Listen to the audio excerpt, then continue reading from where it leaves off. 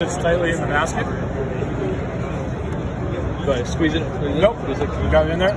So you close the basket, read the pod. I'll tell you that it found the right pod, understands what it is. Make sure you have a medium glass in there. You have the right glassware. Press start.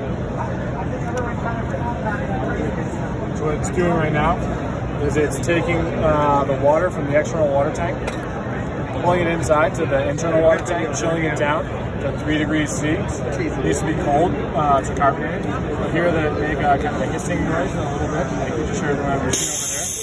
Carbonating the water, the perfect pressure uh, and mixture of uh, water and the ingredients inside the pot.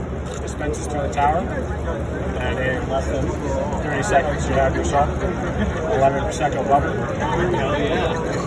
Do these go for uh, retail? Uh, retail is $2.99. Right now we're doing a special uh, for CES. So if you use promo code CES199, you can get it for $199.